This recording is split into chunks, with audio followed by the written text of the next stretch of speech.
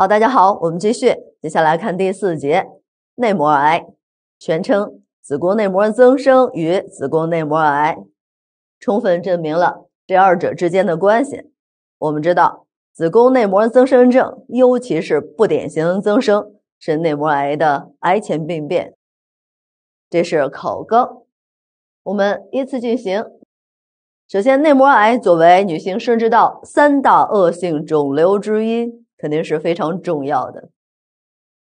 那么看它的发病年龄啊，因为它平均发病年龄是六十岁，有百分之七十五四分之一的患者发病于五十岁以上，所以呢，我们在临床上叫它老年癌。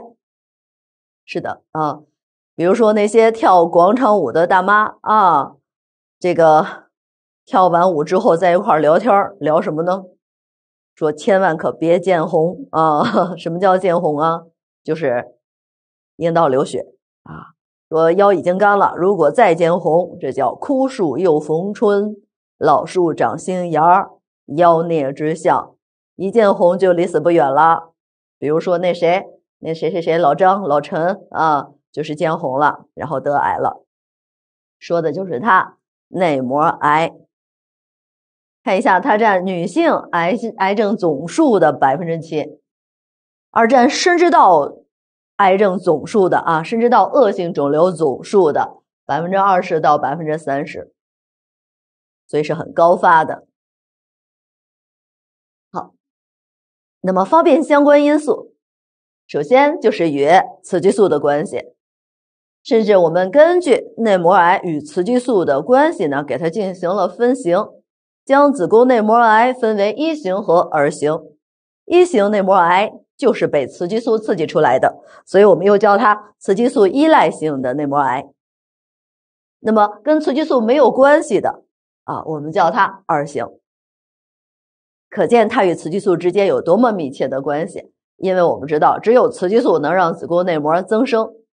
我们用一组图片来让大家体会一下雌激素。在内膜癌的发生发展中所发所起的作用，请看一下，这是正常的子宫内膜。每个月经周期的雌激素使子宫内膜呈现增生期或者叫增殖期改变。但是，如果女性体内只有雌激素，没有孕激素，要知道，单一雌激素的长期刺激而无孕激素的对抗，就可以让子宫内膜因为长期增生。而发展到不典型增生，不典型增生即为癌前病变了。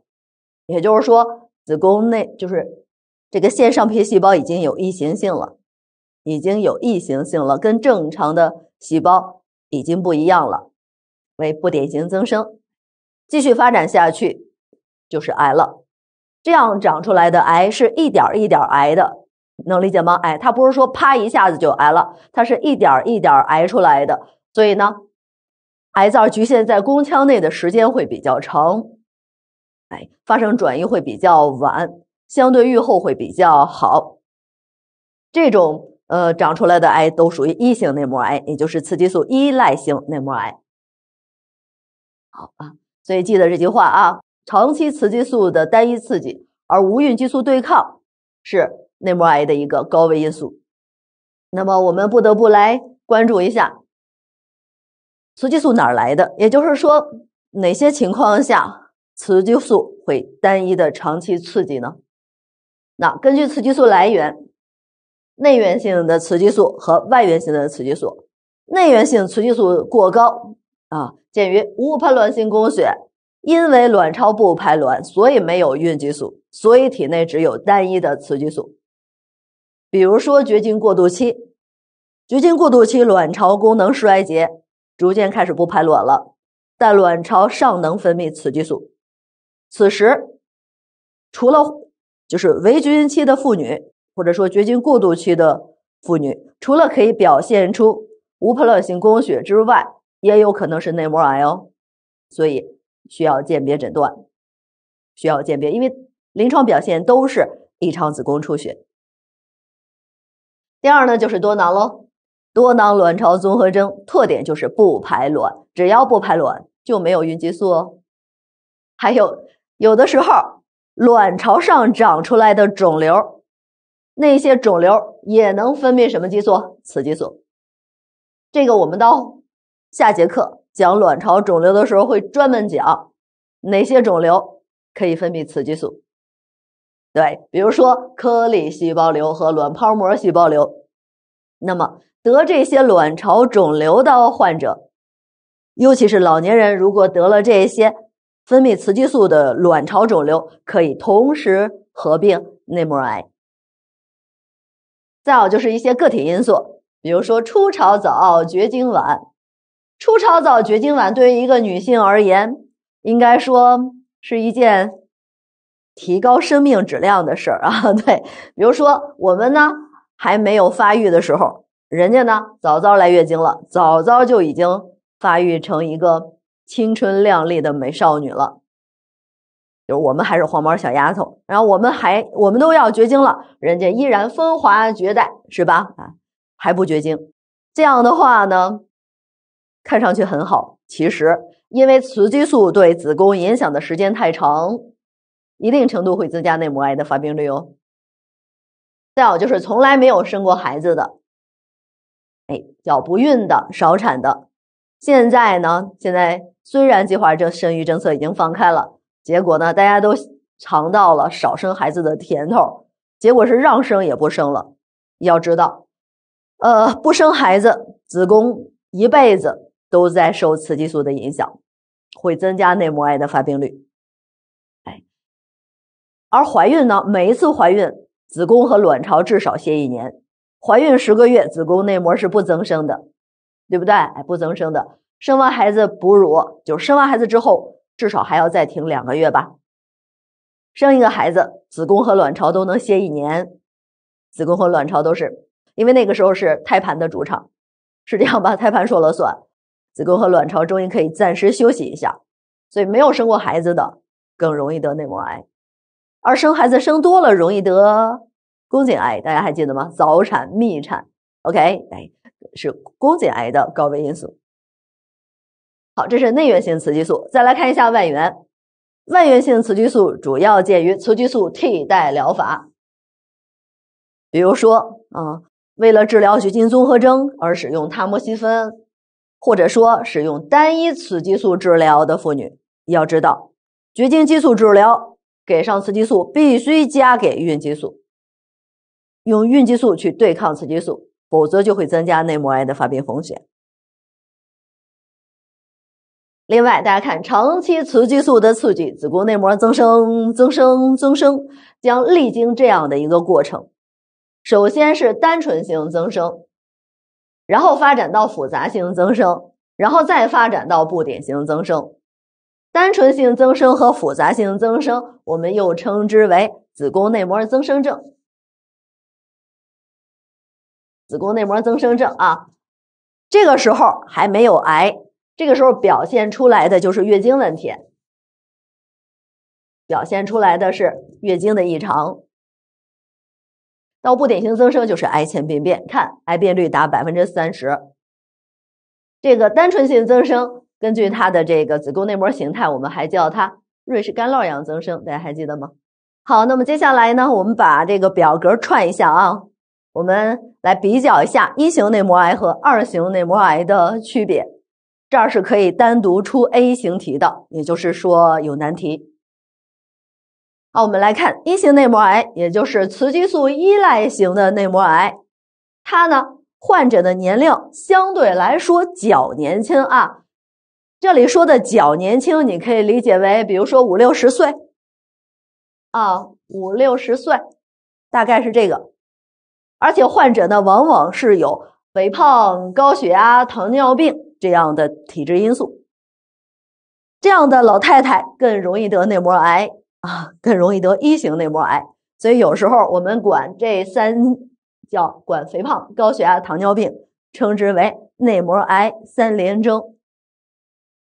再看二型内膜癌，这也就是怎么说呢？患者往往是年老体弱、垂垂老矣，比如说七八十岁，举个例子啊，七八十岁的这样的年龄，OK，就是更老啊，高龄患者。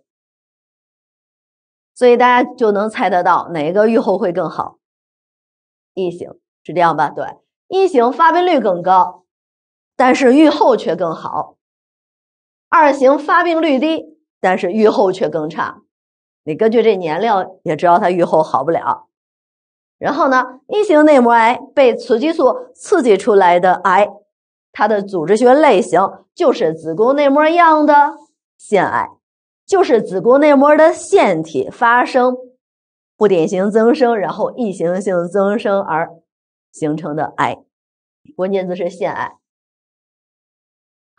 而二型内膜癌是除腺癌以外的其他的病组织学类型，比如说。浆液性腺癌呀、粘液性腺癌呀、透明细胞癌呀等等，这些组织类型少见，但是恶性程度却更高。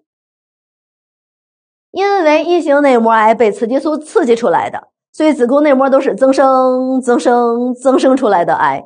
所以，子宫内膜的病变基础是什么呢？是增生明显。而二型，二型的子宫内膜其实是萎缩的。只有癌变区域，癌的那个地方是有增生，异形性增生，能理解吧？异形性增生，大部分子宫都是萎缩的。一型内膜癌，准确的说就是这种腺癌。这种腺癌呢，因为它是一点一点癌的，逐渐癌的，所以它癌的过程比较长，因此它局限在宫腔里的时间比较长。大家还记得吗？当我们发现它的时候。它的分级分期都比较低，所谓分级低是指的恶性程度低，所谓的分期低是指的哎还没有转移，所以预后较好。而二型内膜癌呢，它是说癌啪就癌了，就这种意思啊。因此呢，它的分级比较高，也就是恶性程度更高，分期更高，也就是。当我们发现它的时候，它已经广泛转移了，因此预后更差。一型内膜癌因为是被雌激素刺激出来的癌，所以癌细胞上多有性激素的受体，比如说有雌激素和孕激素的受体，这些受体是阳性的。那同时也意味着我们可以给予孕激素治疗，就是我们用孕激素去对抗雌激素。是可以治疗一型内膜癌的。好，但是二型内膜癌，它的癌细胞上呢是没有雌孕激素的受体的或低表达，也就是说，二型内膜癌我们给孕激素治疗是无效的。最后这个分子事件啊这一部分呢，大家是我专门帮大家归纳整理的，因为有的时候题目考到了，书上没有写。所以我就给大家列在这儿了。一型内膜癌的分子事件呢，多是这个 PTEN 这个基因的失活，或者是微卫星的一个不稳定；而二型内膜癌它的分子事件主要是 EI 基因 EI 基因 P 五十三的一个突变，以及这个 H1B2 基因的一个过表达。这一部分内容呢，我知道不好记，没关系啊，进考场之前看一眼，有个印象。这些死记硬背的东西嘛，是吧？好过了。接下来是，嗯，子宫内膜癌发病相关因素的第二方面就是遗传因素。我们发现临床上大多数内膜癌为散发，然而其中的百分之五是与遗传有关的。这儿我希望大家呢记一个名字，叫 Lynch 啊，叫林奇综合征。这这个综合征是一个遗传性的家族聚集性的疾病，又叫做遗传性的非息肉结直肠癌综合征。也就是说，这样的患者就是问他的家族史，家里面有人得子宫内膜癌，有人得乳腺癌，还有人得结肠癌、直肠癌。有时候我们就直接叫它乳腺癌、内膜癌、直肠癌综合征。它是一种常染色体显性遗传病。这个也可以解释为什么一些年轻女子发生了内膜癌，因为我们知道内膜癌高发的是老年人，年轻的时候就得内膜癌了，往往是与这些基因有关系的。Lynch 啊，林奇综合征。好，另外呢，我想给大家补充一个信息，因为我发现近些年来有题目考到这儿，但是书上呢，就是你们书上没有介绍的很清楚，大家还得自己去搜索答案，比较费劲。请看一下，就是我们还可以将内膜癌按照分子特性呢分为以下四种亚型：PO 突变型、微卫星不稳定型、低拷贝型和高拷贝型。其中预后最好的是这个 PO 突变型，而预后最差的是这个高拷贝型。这样大家就有备无患了。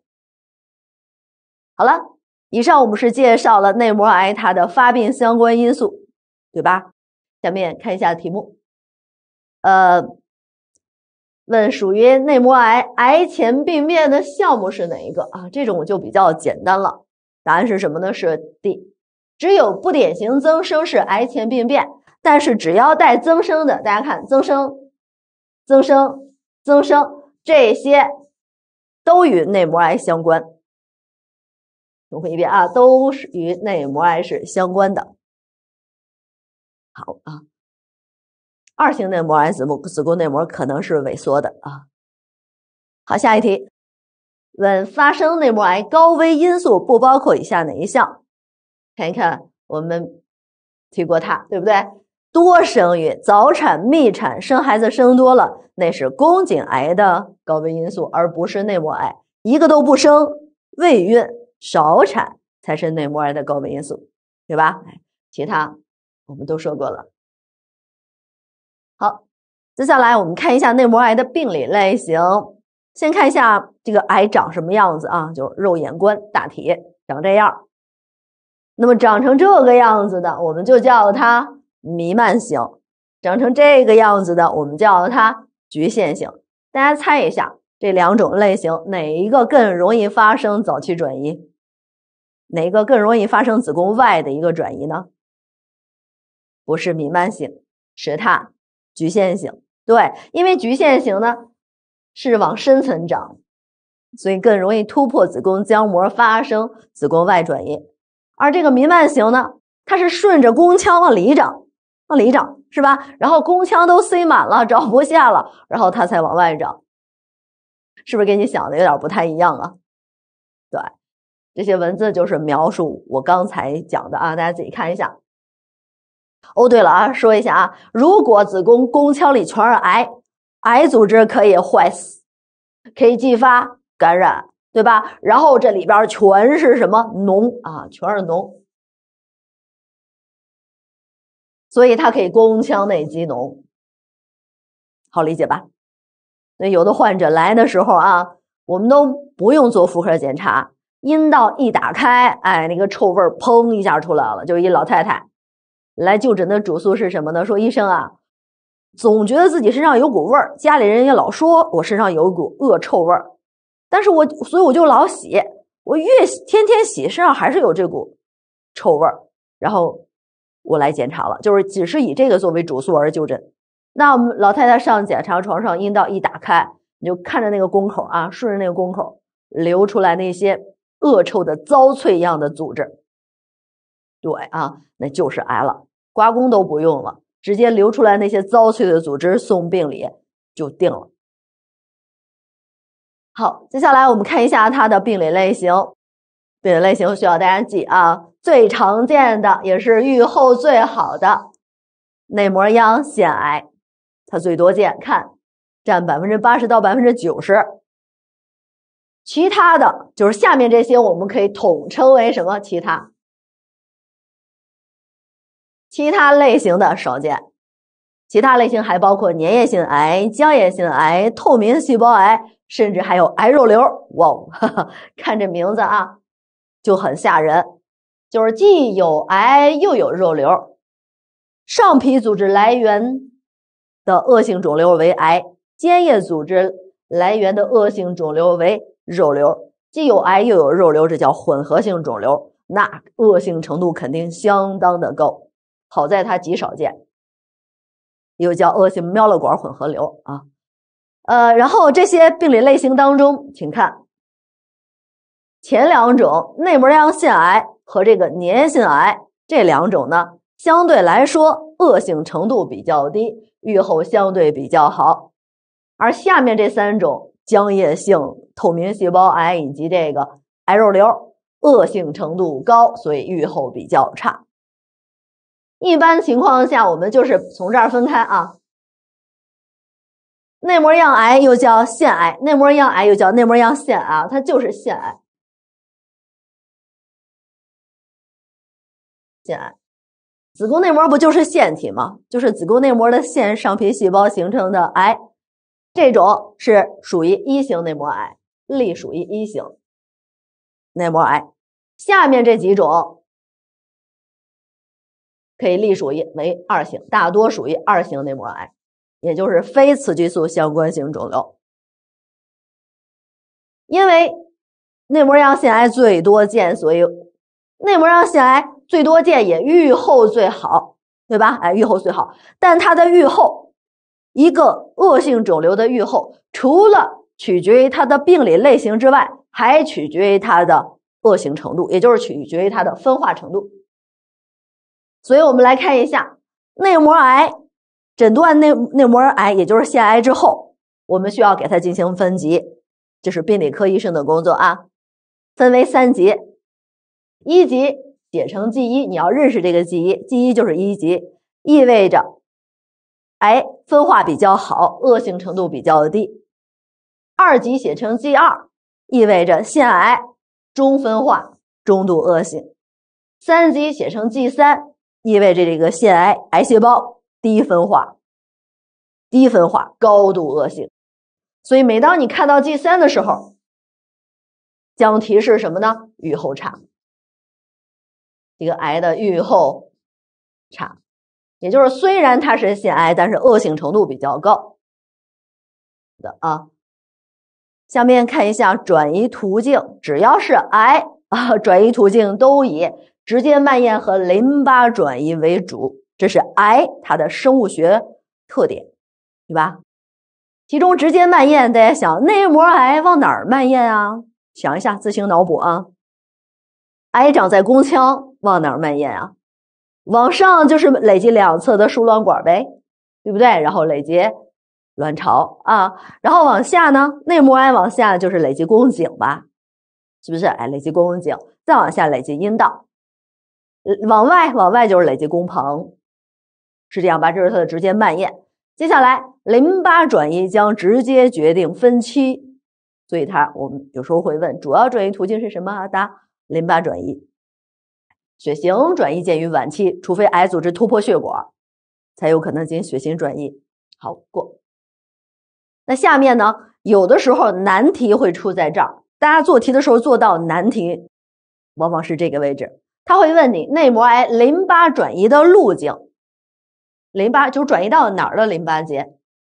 首先啊，说明一下，容易发生淋巴结转移，意味着，呃，意味着预后差，对吧？意味着，意味着分期高，预后差。那哪些肿瘤更容易发生淋巴结转移呢？看，癌肿累积宫颈、深基层浸润以及分化不良。分化不良意思就是 G 三。分化差，对不对？恶性程度高，记录为 G 三。这个我们刚才已经见过了啊。好啊，另外就是转移的途径，也就是说内膜癌往哪走，哪一组淋巴结会转移到哪一组淋巴结，其实取决于癌灶的生长部位。这一部分其实是在考解剖，明白吗？大家看一下这一大堆，看上去会觉得很有压力，其实它就是在考解剖。我们给张图，大家就好理解了。你看啊，如果癌灶长在哪儿呢？长在宫底部，就长在这儿。那你说它会往哪儿走呢？它肯定会往两边走，顺着阔韧带的上部，对不对？然后累积哪儿呢？累积骨盆漏斗韧带。看，沿着阔韧带上部的淋巴管网到骨盆漏斗韧带，到骨盆漏斗韧带就可以到腹主动脉旁淋巴结，就顺着这儿就上去了。可以到腹主动脉旁淋巴结，这是最高的淋巴结组了。所以癌灶长在宫底的话，淋巴转移的更远。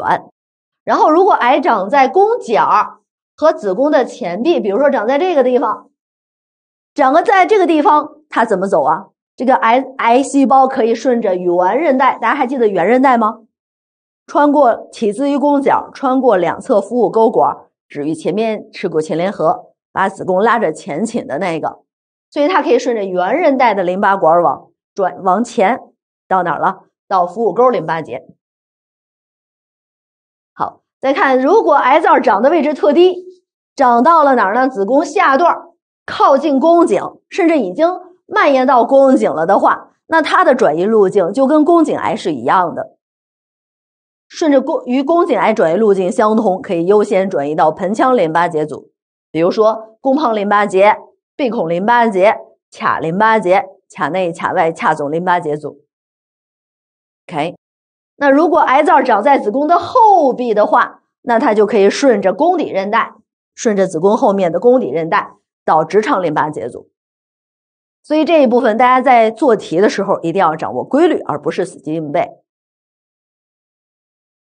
看一下这道题，题目问内膜癌的生长特点哪项是恰当的？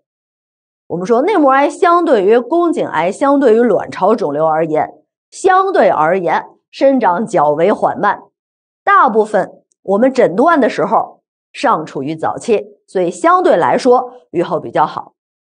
因为我们说的是多数啊，因为我们说了内膜癌最多见的是腺癌，也就是异性内膜癌，一点一点逐渐增生出来的那种癌，所以大部分生长缓慢，局限于内膜或宫腔的时间比较长。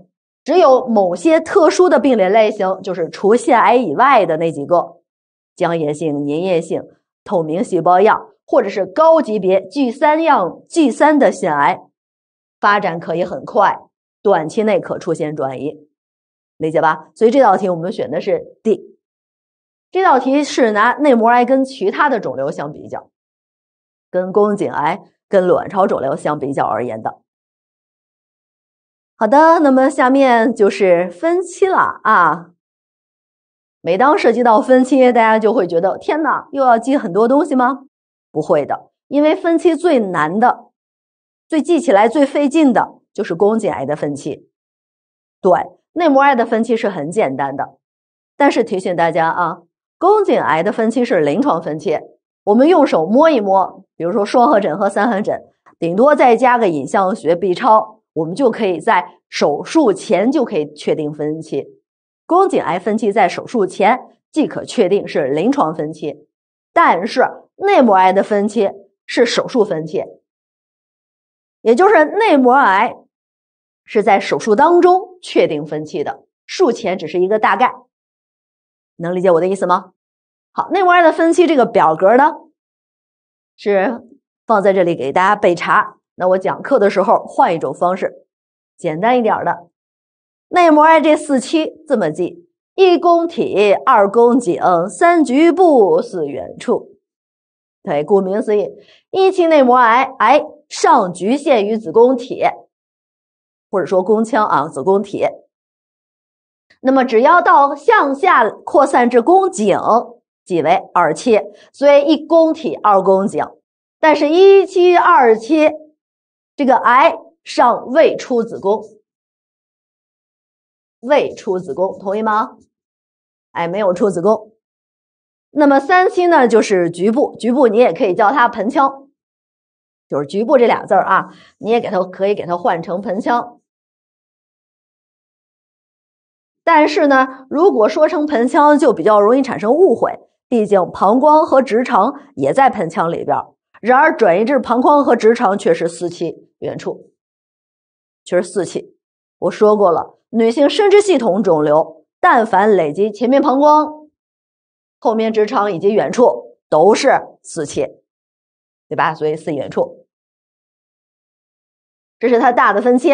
然后我们来看一下它的这个里边的分界，里边也不难啊。比如说一期内膜癌分一 A 和一 B，其区别就在于癌灶浸润基层的深度，深度未超过二分之一基层。一 A 超过二分之一的基层，一 B 简单吧？接下来二期更简单了，但是大家得注意这个细节，特别容易错，那就是呃内膜癌的二期累积宫颈必须累积到宫颈的间质，所以还是这种方式啊，就是重要的事情说三遍，间质间质间质，只有癌灶累积宫颈间质才算二期。如果癌灶仅累积子宫宫颈黏膜的腺上皮，不算二期，因为它的预后跟一期无区别，理解吧？那我给大家拿出一张图来啊，比如说这就是宫颈的黏膜，大家看单层柱状上皮围成腺体，这是腺腔啊，往外分泌粘液的。往外分泌粘液的，这是腺腔，对不对？然后这一排就是腺上皮细胞。注意啊，如果癌细胞只侵及这一层上皮细胞，不算二期，照样属于一期，因为预后跟一期没区别。算二期的时候，必须累积中间的这个部分，这个部分我们才叫它什么？才叫它间质。也就是腺体和腺体之间的这个部分才是间质，大家发现了吗？间质里面才有血管啊、神经啊、淋巴呀这些脉管，累积宫颈间质才有可能发生转移，同意吗？哎，它的预后跟一期才有区别，所以大家务必注意这个间质。好了，下面三期、四期大家就哎哎，因为这儿好记，所以好考。理解我的意思吗？哎，最好把它记一下啊！我只要求大家记宫颈癌和内膜癌的分期，其他肿瘤的分期呢，一般就不怎么考啊。来看一下三期，是癌灶发生局部或者叫区域的播散。三期分三 A、三 B 和三 C。三 A 是累积子宫的浆膜，就是子宫外膜和或附件，就是输卵管和卵巢。所以内膜癌累积输卵管和卵巢属于什么呢？属于三 A，三 B 是指的累积阴道了，再向下累积阴道，或者是累积宫旁，这是三 B。OK，哎，然后再看三 C 是累积盆腔的淋巴结或辅助动脉旁淋巴结。好，只要累积淋巴结即为三 C。四区简单啊，膀胱直肠和远处统称为几期？四期。所以这里也就三期稍微呢会费点功夫。啊，就多记一会儿。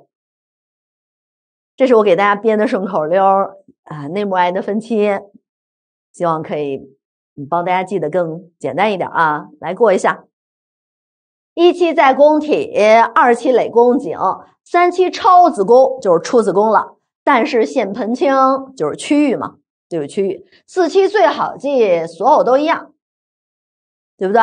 那一 A 一 B 看深度。二分之一分得清，二期注意关键字，什么关键字呢？间质受累才算数。三期播散满盆腔，三 A 浆膜和附件，三 B 阴道和宫旁，三 C 累积淋巴结，最后膀胱直肠和远处，所有四期都一样。这就是内膜癌的分期。那好，大家如果不想背，你也可以从去题目中记。来吧，看这道题。问你，发一狗零九年的内膜癌手术分期标准何为二期？相信大家应该记住了啊，间质累积宫颈且得累积宫颈间质上才属于二期。啊，下面三 B 啊，三期三期是发生子宫外的区域转移，是吧？区域播散，其中三 B 是累积哪儿了呀？三 B 是累积阴道和宫旁，对不对？阴道和宫旁，累积阴道或者什么宫旁，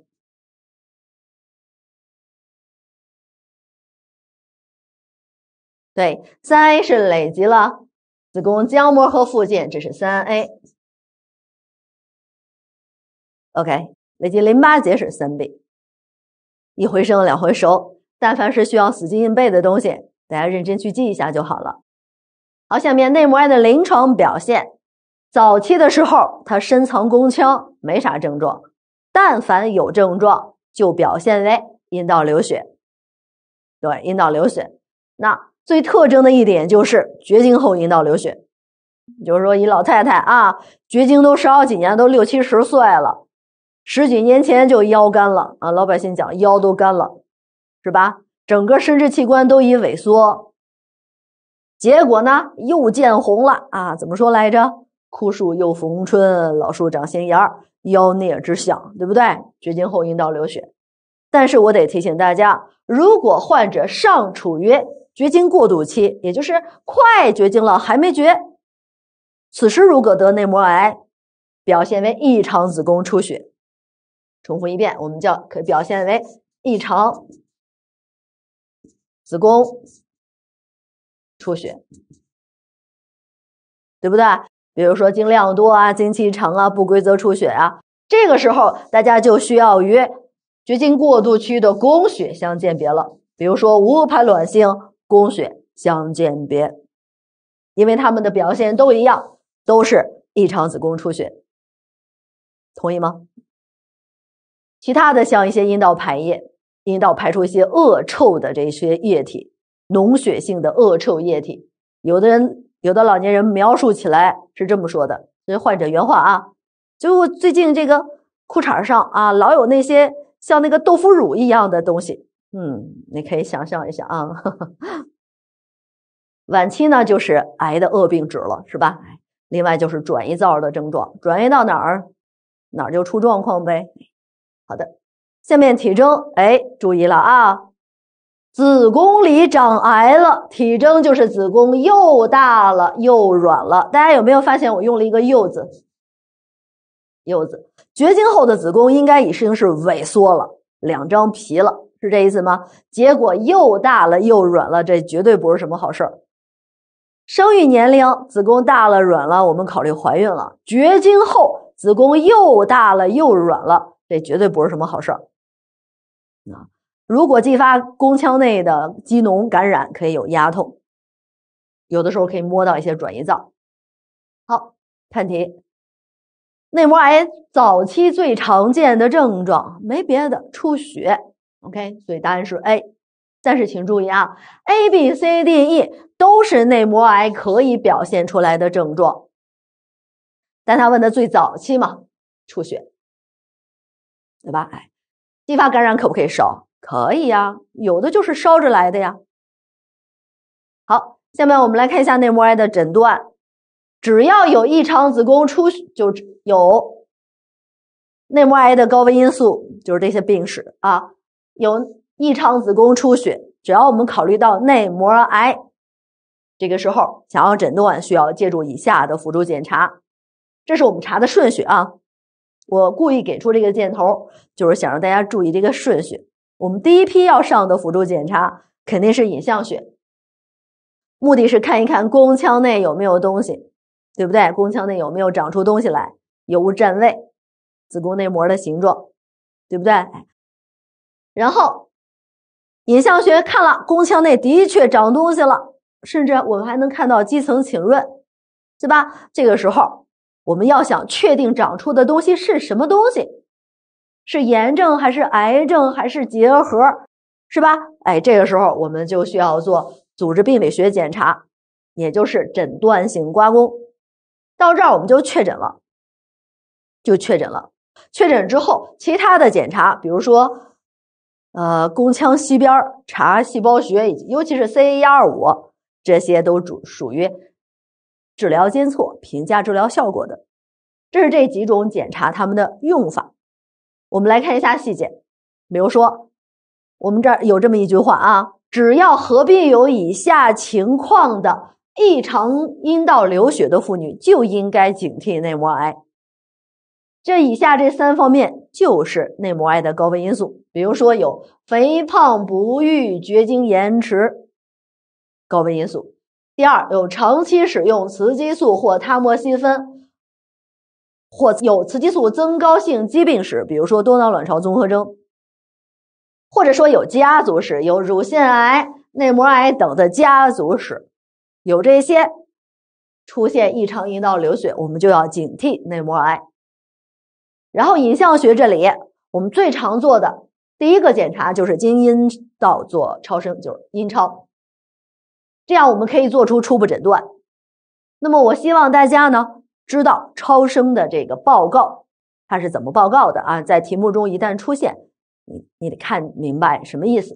比如说内膜里长癌了，会表现为宫腔内出现不均质的回声区，或表现为宫腔线的消失，按说应该有清晰的一个宫腔线，对吧？宫腔线，但是宫腔线消失。如果侵及基层，可以在基层里面看到不均质的回声区。如果我们做彩超，彩超的话，甚至可以反映长出来的那个东西里面有丰富的血流信号，这更加提示是恶性的，就是不是好东西，就这东西有血供，是长东西了啊。